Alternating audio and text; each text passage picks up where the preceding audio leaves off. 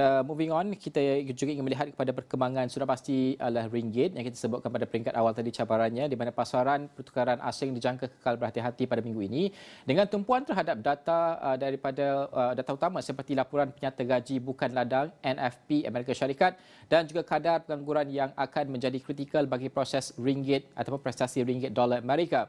Ketua Ahli Ekonomi Bank Muamalat Malaysia Dr. Afzal Nizam Abdul Rashid berkata pasaran akan memantau dengan teliti prestasi statistik uh, ketika ini dan Ahli Jawatan Kuasa Pasaran Terbuka FOMC Persekutuan uh, menghadiri mesyuarat terakhir untuk tahun 2023 pada 12 hingga 13 Disember depan.